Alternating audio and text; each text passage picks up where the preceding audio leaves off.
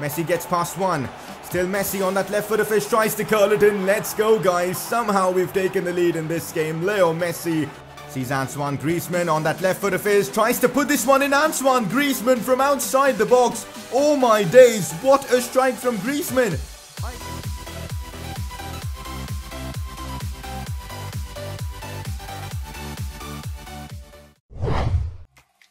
So welcome back to another episode of the Barcelona Career Mode series. Today's episode is probably the most important episode of this season as we've got the very first El Clasico of the season. Real Madrid are perfect in La Liga at the moment. 13 games played, 13 wins. They've got a 4 point advantage over us and this game at the Santiago Bernabeu is a chance for us to cover up some lost ground. And apart from all the drama that the El Clasico brings, we've got our final Champions League group stage game against Olympique Lyon. We're gonna find out if we can finish first in this group because this game against Lyon is important as both teams are on 13 points at the moment. So this should definitely be a pretty big episode in this series and if you guys are enjoying this series, make sure to show your support by dropping a like in the video. That would be greatly appreciated. If you are new around here, make sure to subscribe for more FIFA 20 career mode content and let's get this one underway. Press conference time and if you guys want to get involved, drop in your questions down in the comment section below. Transfer window is looming so we do have some transfer based questions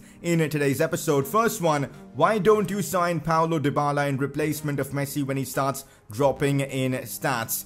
Simply because I don't think this is the right move. We've got Ansu Fati growing into a better player as we progress through this series. We've got Oscar Hara, who's proven to be amazing whenever given the opportunity. We've also got Fernando Romero, who's coming up from the Youth Academy. I don't feel the need of signing another forward because I think we've got enough depth up front with all the Youth Academy players coming in. And also Messi at the moment, even though he's going down in his, in his stats, he's still performing for us. So I don't think Dybala is an option at the moment. Next question, change the manager's outfit. It's been the same since the beginning of the series and you guys are right. It's been, what, 27 episodes now of the Barcelona career mode and we've barely changed things up. So I'm going for a more casual approach now because I'm bored of the suit and tie and all that sort of stuff. So this should look pretty good. We've got, of course, these white trainers on as well. And also, if you're wondering what on earth is that cap, well, I thought it looked pretty similar to, of course, one of those Peaky Blinders cap. Now, for those of you guys have that have watched Peaky Blinders will know it's one of my favorite TV shows. And yeah, that's what I've gone for. It looks interesting, I suppose. Let's use this for a few episodes. Let me know your thoughts in the comment section. Next question, how come you never wear Barcelona's blue alternate kit in any games? Well, that's because I don't have that available to me. Apparently, you've got to start a brand new career mode to get those kits in your save. And because we started this career mode day one when FIFA 20 launched, well, because of that, we don't have that kit available to us, which is a real shame. But of course, I'm not going to go ahead and start a brand new save just for that purpose. So for this series, we're going to have to deal without the, of course, third kit. But that's the press conference wrapped up. Let's move on. So it is Marc-Andre Ter Stegen winning the Player of the Episode award after doing an absolute madness in the last one. Go ahead and watch the previous episode where he played against RB Leipzig. The guy legit made, what, 8 or 9 saves and all of them were incredible. And that's why you guys voted for him as your player of the episode. Hopefully, he keeps this kind of form up for us. Hopefully we can make more progress with our season goals in today's episode. Goals from Ansu Fati would be brilliant. Clean sheets as well in La Liga. Goals like Griezmann's in the last episode from outside the box would be amazing as we still need to score 7 more goals from outside the box. Hopefully, we can see more progress with our season objectives. So we start off today's episode with a pretty big game in La Liga. In fact, today's episode, every game is huge because we've got Villarreal to play, Olympique Lyon in the Champions League, and then the big one, El Clasico. So we've got to be ready for today's episode. We're playing 5th place Villarreal. This is going to be a tricky game, but I don't want to be dropping points before that mammoth game against Real Madrid, so we need to beat them. I've made a few changes to our team for fitness reasons, but for the most part, we've got all our big players. Leo Messi starts, and in form Antoine Griezmann starts up front. Oscar Hara being given an opportunity on the left is pretty huge. We've got Arthur in midfield, Aleñá giving an opportunity as well, so Debo starting as well. Ter Stegen in goal. We're playing Villarreal at the Ceramica. Let's go out there and pick up all three points against them. It's not going to be easy though, they're fifth in the league. Releases Oscar Jara. Again, a massive opportunity for the youngsters. He's pushing forward now. Oscar Jara on the attack. Looks to curl this one in. Well, he's got to definitely work on his shooting as that was a terrible attempt. Oh, I've been beaten there. Todibo has just been caught lacking in terms of pace, but Lenglet, with probably one of the best defensive challenges in this series, goes sliding in and wins the ball back perfectly. Brilliant defending from him. Antoine Griezmann releases Oscar Hara as the Spaniard is pushing forward. I see Messi making a great run. Messi shoots and somehow the keeper and the post deny him. The cross from Oscar Hara was inch perfect and I feel like Messi really should have scored but he got super unlucky there as well.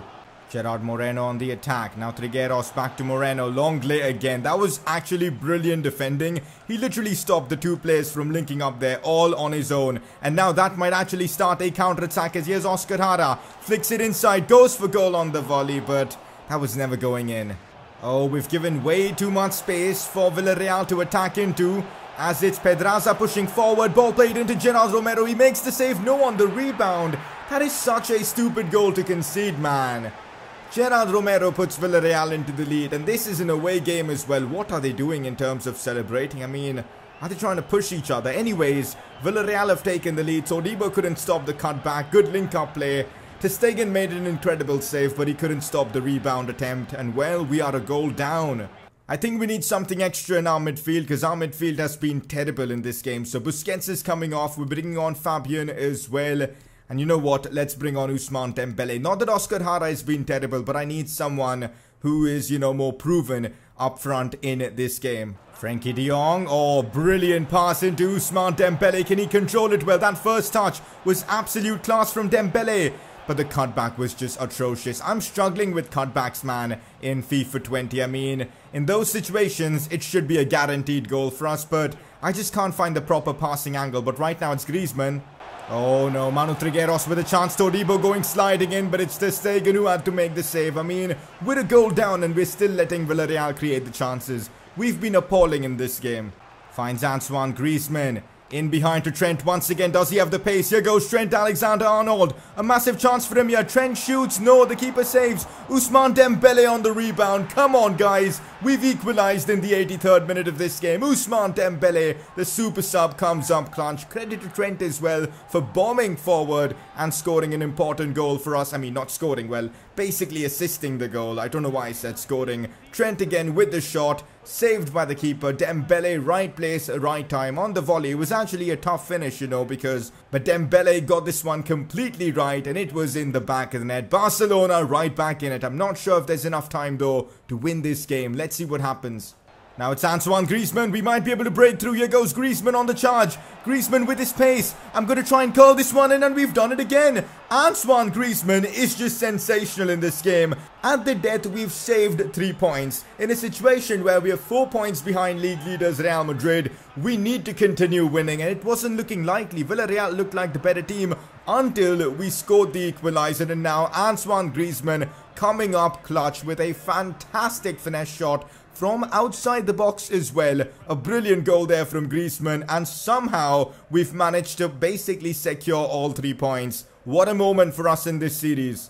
Oh, we might be giving away a chance to Villarreal. Here's Juan Cuadrado. I've got to be careful. Lenglet is on a yellow card. Arnold looking to push forward. He's broken through. He shoots ter Stegen. At the death makes an incredible save to deny the German. It is still 2-1 to Barcelona. It's been an incredible game against Villarreal so far.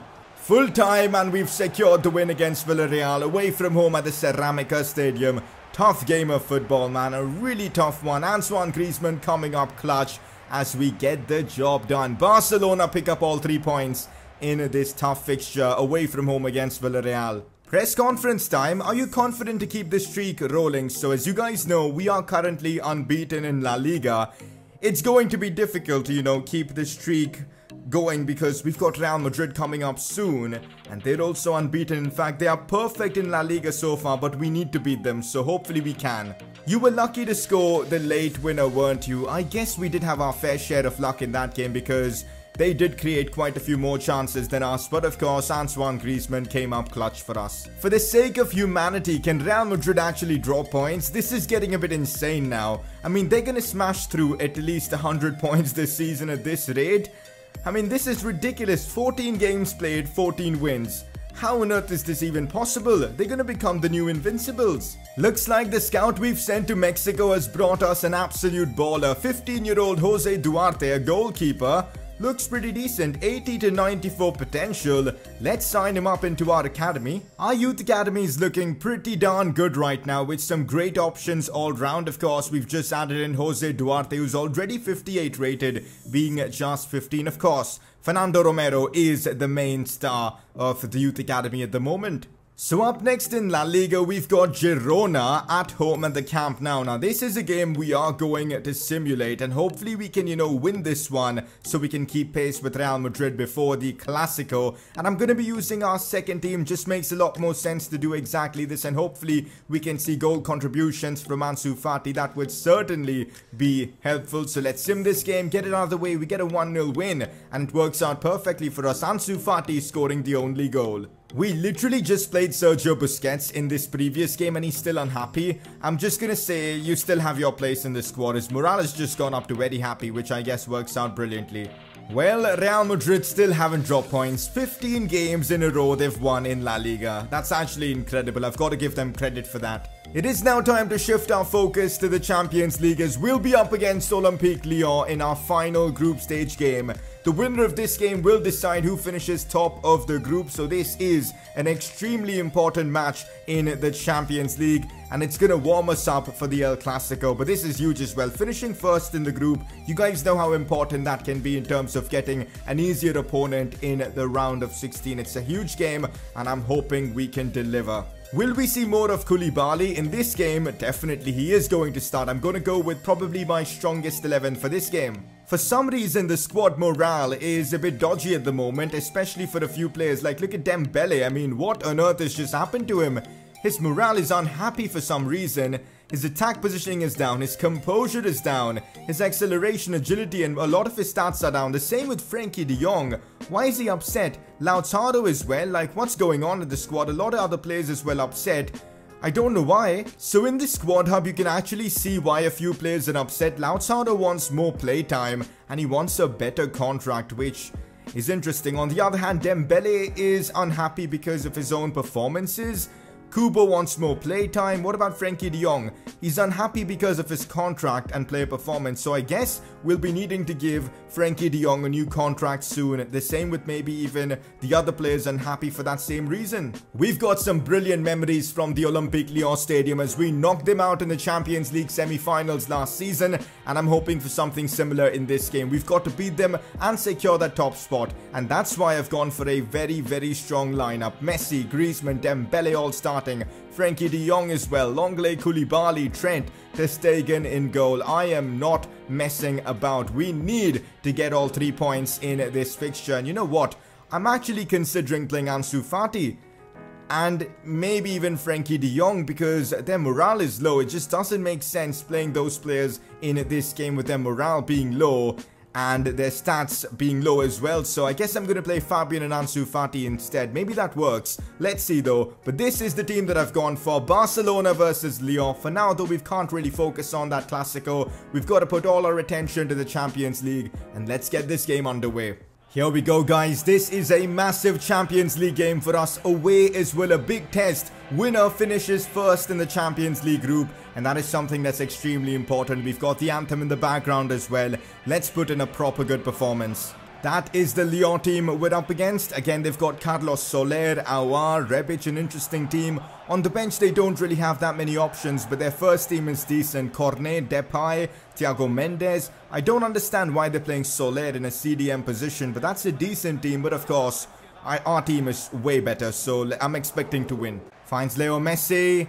To feed Griezmann and already we might be through on goal. Here goes Antoine Griezmann. In a 1v1 situation, he's back in France and he loves scoring in his homeland. Antoine Griezmann strikes within 5 minutes. Messi and Griezmann combining. They just love scoring and creating for each other. Two fabulous players there. As of course Messi finds Griezmann, who does the rest. I mean, look at the pace from Griezmann. He's just too quick for the Lyon defense and he slots it home calmly. No problem at all. I mean, look at that for a finish. And of course, we've taken the lead. A big goal for us in the Champions League away from home. Now Fabian. I see Messi completely free out wide. I go for goal, but why did he shoot with his right foot? I was trying to, you know, finesse that one in with his left foot, but it didn't really work out well. Honestly, I notice such a big difference in my team when the morale isn't that high. Like my players feel quite sluggish in comparison to normal. Hopefully that won't really have much of an impact on the result in this game, but it's good to see that the player morale system actually works. Oh, Messi skipping past a few challenges. Still Messi. Oh, that's Messi at his best. Looks to call this one in. Leo Messi now scores a sensational goal from outside the box. I think that's our second goal from outside the box in today's episode. Leo Messi this time to score one. Finesse shots from Messi in this series, we haven't really seen them from outside the box, but now we get to see one. Look at the way he turned two Lyon defenders and left them for dead. The finish was inch perfect, no chance for the keeper, and it looks like the team have turned up for this massive away Champions League game.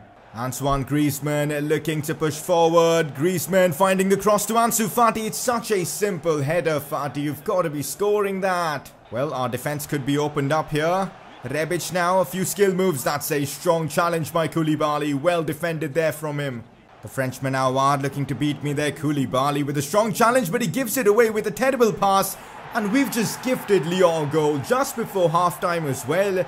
That was awful from Koulibaly, I've got to say. The tackle was great, but he just couldn't play out from the back there. Ah, we've just gifted Lyon a way back into this game just before halftime as well. Here's Arthur, now Leo Messi. Messi could score another one. No, he drags his shot wide. Ball coming back in. Cross comes in as well. Cornet, no.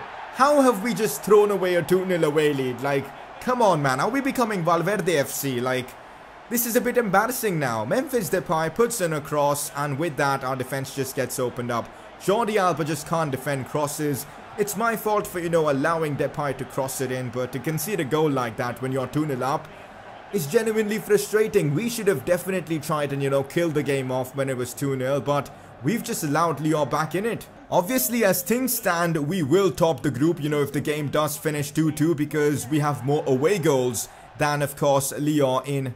Ansu Fati finds Griezmann. Oh, that's brilliantly done by Antoine Griezmann. He's so good, man. Slays this one off to Messi. Heavy touch from Messi, but he manages to scoop this one. No, it's hit the post. Are you kidding me, man? No freaking way. Ah, oh, man, this game is so frustrating at times. So unlucky for Messi. Bernardo inside to Griezmann, holds up the play well, lays it off to Leo Messi. This is Messi's chance. He's got to score this. Messi, what's he done there? I tried to stop and, you know, slow the game down so I can, you know, position Messi to get the shot off properly. Instead, I've gone ahead and done that. Uh, that is completely my fault. Just awful. So that's that for our Champions League group stages. We've drawn 2 all against Lyon. I think we should be topping our group. We'll get final confirmation soon, but very disappointed to have blown a 2-0 lead in this one. Credit to Lyon, they fought back really well. For your last two encounters with Lyon, you could not score a decisive goal. Is your offense having difficulties in scoring? I don't think so. I think it was just that Lyon gave us two brilliant games. I mean, they're a good team. When the Lyon equalizer came in the second half, did you hope to get back in front? I mean, we aim to win every match, but I've got to say, once they got the equalizer, we kind of struggled to, you know, get back into rhythm. We were missing simple chances and all that. It was frustrating. Getting some training done and look at that. Takefusa Kubo has gone up to a 77. Puig up to a 78 as well. And yes, I was right. I guess on account of head-to-head -head difference, we finished first in our Champions League group with 14 points. Lyon gave us a tough fight, but hey, the head-to-head -head rule stands and we get first spot in our Champions League group now. The draw hasn't been made yet, and I guess that's going to be in the next episode. So I'm actually really hyped for the draw. Hopefully we'll get a relatively easy opponent in the round of 16. So after the Champions League round of 16, this is how the top scorers list look. Tadic has just done a madness. 9 goals in the Champions League so far in just 6 games. Maybe Ajax had to play a qualifying round and that's why he scored this many, but that's still incredible.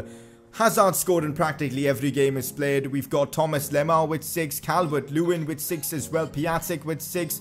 Any Barcelona play in the top 25, Griezmann coming in with 4, but man, teams like Real Madrid, Atleti, all of them are performing and their top players are delivering. A bit of good news though, Leo Messi is the top assister in the Champions League with 4 assists in 5 games. That's actually pretty incredible.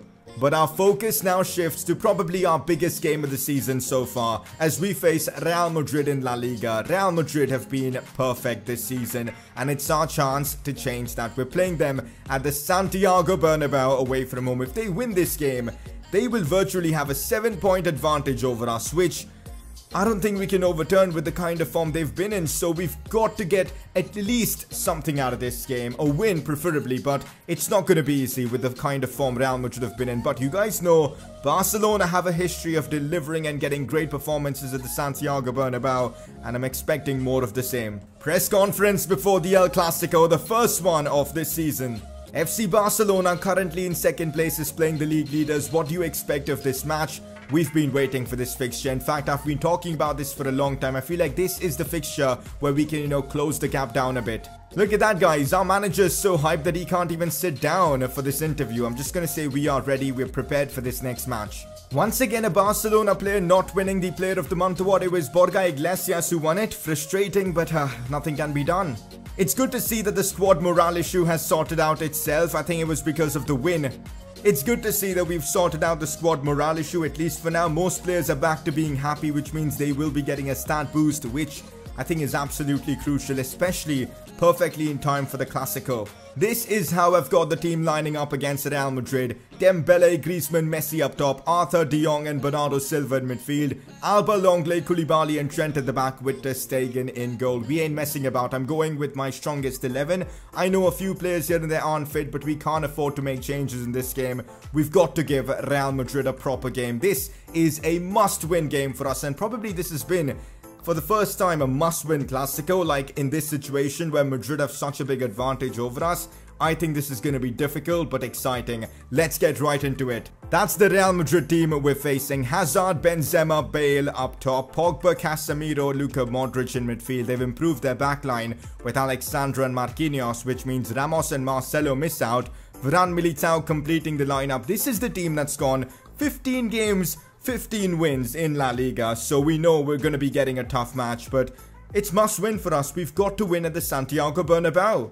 Real Madrid being extremely patient, and actually we haven't been able to keep much possession in this game. Casemiro now, back to Pogba. Casemiro again, inside to Hazard, and somehow we survive. Ter Stegen collects that one. No wonder Real Madrid top the league. Their passing and link-up play and all is lethal, and I'm finding it difficult so far. Finally, we might have a chance to conjure up something in this one. Here's Messi on the ball. Does so well to get past Casemiro. Messi releases Bernardo Silva now. Here we go on the attack. Still Bernardo. Goes for goal. Oh, Alex Sandro has put it in. What have I just witnessed here? An own goal by Real Madrid. We've been gifted a goal. Real Madrid have been so dominant in these first 30 minutes, but then they've just gone ahead and done this. Alex Sandro costing his team heavily by scoring an own goal there. Bernardo Silva, I think, hit the post or the crossbar. Was it saved by the keeper? Let's have a look and see. It did hit the crossbar and then Alex Sandro. What on earth was he doing, man? I guess the pressure from Griezmann got to him, but that is just awful. To do that in a Clasico, I'm sure the fans won't enjoy this. At the Bernabeu as well. That is just embarrassing from Alex Sandro. 1-0 up in the most weird circumstance possible. Gareth Bale on the attack now. Inside to Casemiro. Back to Bale who strikes first time. Frenkie de Jong's going to get a booking for an earlier challenge. A yellow card I suppose. But Gareth Bale got pretty close to scoring then. Also we've got to be careful with Frenkie now. Last thing I want is him getting sent off in a Clasico. Bernardo. Antoine Griezmann turns and shoots and no he misses. How has he missed that? Antoine Griezmann could have easily made it 2-0 there but uh, he couldn't. Half time and we are in the lead courtesy of an Alex Sandro own goal. I've got to say, I think Real Madrid deserved a bit more from this first half, but somehow we've retained our lead. And hopefully in the second half we can put in a better performance. I definitely want to walk away with all three points. And to win at the Bernabeu will always be a brilliant feeling. So let's hope we can get it done in the second half. Benzema on the ball. In behind to Luka Modric. No Ter Stegen saves. And on the rebound, Koulibaly. Incredible defending from Koulibaly. I don't even know what to say because that was 100% a definite goal that somehow Koulibaly has stopped. Unbelievable there. Both Stegen and Koulibaly deserve a lot of plaudits for that. As we now move on the counter-attack with Bernardo Silva. Chance for him to score. Ah, I take too much time on the ball there. I should have just gone for a shot earlier on. Madrid continue to attack. I'm sure they feel like they deserve at least something out of this game. It's Pogba. Now to Eden Hazard who goes for goal. And well, well, well. Real Madrid do get that equalised. And the thing is, I can't even complain because they've actually been the way better team. Pogba doing so well there to create this opportunity. Finds Hazard. The two combine. And the Belgian this time doesn't miss. We've somehow survived up until this long, but Real Madrid finally get their goal. And that's full time at the Santiago Bernabeu. It feels like a missed opportunity. To be fair, we're lucky to get away with a draw, but this is a game we really should have attacked and got a result. Well, Zidane has done it, I guess. A massive draw for him, his team in this Clasico as Real Madrid maintain their four-point lead over us. We had a great chance to, you know, cover some ground, but uh, We've bottled it, I suppose. Oh, Pogba just disappeared. What just happened here? Oh my god, he's just reappeared. But what is going on in this game? Uh, that's a tough result to take. We got lucky, to be fair. Although we're unbeaten in La Liga after 16 games, for some reason it just doesn't feel like it. Probably because of how dominant Real Madrid have been at this season in La Liga. Maybe it is just their season, but of course we cannot give up. We've got to continue pushing in La Liga to hopefully get ahead of them. I want to retain the league title this season. So the scout we sent to Spain has brought us some interesting players. Andres Castillo looks pretty good. 74 to 94 potential. 17 years old. A pretty high base overall. So we're going to sign him up. This guy looks pretty good as well. But uh, I'm not too sure. Let's sign him up and just see how he is. We've got some more talents in here. Ivan Miranda. I'm going to keep him in the academy for now and then make the decision soon. In fact, you know what? Let's sign him. 79 to 94 is huge in terms of potential. The other two I'm going to scout for a bit. No, let's sign Daniel Lugano as well. So we've actually added quite a few new players into our academy. Hopefully in the next episode we can push through in La Liga and get some good results and of course see Real Madrid drop points which by the way is highly unlikely. I might actually reveal our Champions League round of 16 opponent as well in that next episode and also the transfer window opens up so maybe some transfers in that next episode. A lot's gonna go down. It should be exciting and hopefully you guys are enjoying this series. Time for a quick season goals update. At least we've done well with our objectives in today's episode. I mean, gameplay wise, it's been terrible. So we're at 6 clean sheets, which is good. 8 goal contributions from Fati. But the best thing is we scored 2 goals from outside the box, which should really be helpful for our objectives. Before we end off the episode, it is time for you guys to make your vote count for the Player of the Episode award. And I'll be honest, I struggled to pick out two nominees because of how bad we were in this episode. But Koulibaly I thought was superb in that game against Real Madrid. We would have conceded a lot more without him, so he's been nominated. Trent as well was superb in that win against Villarreal. He helped us score the equaliser with that shot he had, so that's why he's been nominated. Koulibaly and Trent, those two are nominees. Click the I button on the top right of your screen to vote for either of them. So that's the end of today's episode, and I'll be honest, I'm a bit deflated after recording this episode because of how bad we were. We bottled the Champions League 2-0 lead, and of course against Real Madrid in a game that was so important I couldn't get the win. A bit disappointed but we push forward. Next episode hopefully we can get back on track. So if you guys have enjoyed today's episode, a like would be incredible. Subscribe if you're new around here. And yeah, I'll catch you guys next time.